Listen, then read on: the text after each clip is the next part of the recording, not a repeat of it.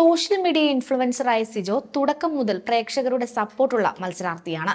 എന്നാൽ തുടക്കത്തിലെ ഫയർ പലപ്പോഴും സിജോയിൽ പ്രേക്ഷകർക്ക് കാണാൻ സാധിച്ചിട്ടില്ല.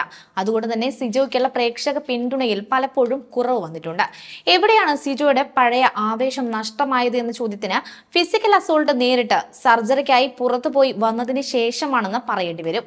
ഷോ തുടങ്ങി രണ്ടാഴ്ച പിന്നിട്ടപ്പോഴാണ് സിജോയ്ക്ക് നേരെ ബിഗ് ബോസ് ചരിത്രത്തിൽ ഇതുവരെ സംഭവിച്ചിട്ടില്ലാത്ത തരത്തിൽ ഗുരുതരമായ ഒരു ഫിസിക്കൽ അസോൾട്ട് നടന്നത്.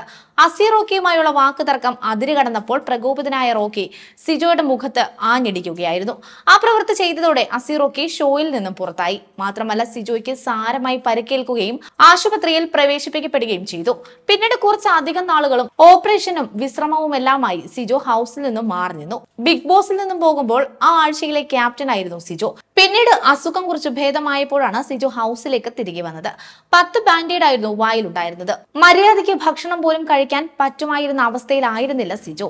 സ്ട്രോ ഉപയോഗിച്ച് ജ്യൂസ് മാത്രമായിരുന്നു കഴിച്ചുകൊണ്ടിരുന്നത്. ലാലേട്ടന്റെ എപ്പിസോഡിലേക്ക് വരുന്നതിന് മുമ്പ് രണ്ടാഴ്ച കൂടെ വിശ്രമം വേണമെന്ന് പറഞ്ഞിരുന്നു. അതിനുശേഷം ഹൗസിലേക്ക് വന്നതോടെ ഒരു പുതിയ മനുഷ്യനായി വന്ന പോലെയായിരുന്നു സിജു ഉണ്ടായിരുന്നത്. വന്നു കയറിയ സമയം ഒരു നീണ്ട പ്രസംഗമാണ് സിജു മറ്റു മത്സരാർത്ഥികൾക്ക് മുന്നിൽ കാഴ്ചവെച്ചത്. സർജറിക്ക് ശേഷം സ്റ്റേജിലേക്ക് വന്നപ്പോൾ ലാലേട്ടൻ തന്റെ കയ്യിൽ ഒരു പിടുത്തം പിടിച്ചു. ലാലേട്ടൻ തന്നോട് സോറി പറഞ്ഞപ്പോൾ താൻ എന്ത് പറയണമെന്ന് അറിയാതെ നിൽക്കുന്ന അവസ്ഥയിലായിരുന്നു.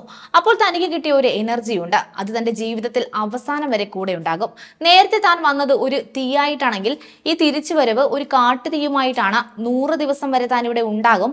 അതിനാർക്കും ഒരു സംശയം വേണ്ട എന്നൊക്കെയാണ് സിജോ രണ്ടാം വരവിൽ മത്സരാർത്ഥികളോടും പ്രേക്ഷകരോടുമായി പറഞ്ഞത്. എന്നാൽ ഈ പറഞ്ഞ കാര്യങ്ങളൊന്നും തന്നെ പിന്നീട് അങ്ങോട്ട് സിജോയിൽ കണ്ടില്ല എന്നതാണ് സത്യം. സിജോയ്ക്ക് പുറത്ത് ഫാൻസ് ഉണ്ട് എന്ന് മനസ്സിലാക്കിയത് കൊണ്ട് തന്നെ മടങ്ങി വന്ന സിജോയോട് ഏറ്റുമുട്ടാൻ പോലും ഹൗസിലെ പലർക്കും മടിയായിരുന്നു. അതുമാത്രമല്ല സിജോയ്ക്കും താൻ എന്തെങ്കിലും പറഞ്ഞാൽ പുറത്ത് തനിക്കുള്ള സപ്പോർട്ട് നഷ്ടപ്പെടുമോ എന്നുള്ള ഒരു ഭയവും ഉണ്ടായിരുന്നു.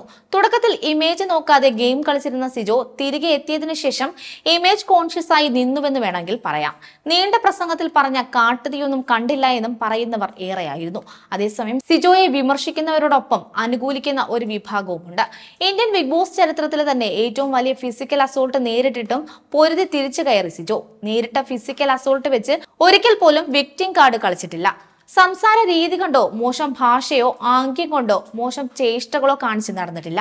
തനിക്ക് വന്ന ഒരു പ്രശ്നം മറ്റുള്ളവർ കളിയാക്കിയപ്പോഴും മറ്റുള്ളവരുടെ പ്രശ്നത്തിൽ ഒരു സുഹൃത്തിനെ പോലെ ഇടപെട്ട് സിജോ എന്നൊക്കെയാണ് അനുകൂലിക്കുന്നവർ പറയുന്നത്. അതേസമയം പതിമൂന്നാം ആഴ്ചയിലെ നോമിനേഷൻ ലിസ്റ്റിൽ സിജോയുമുണ്ട് അത് മറികടന്ന് സിജോ ഫൈനലിലേക്ക് എത്തുമോ എന്ന് അറിയാനുള്ള കാത്തിരിപ്പിലാണ് പ്രേക്ഷകർ.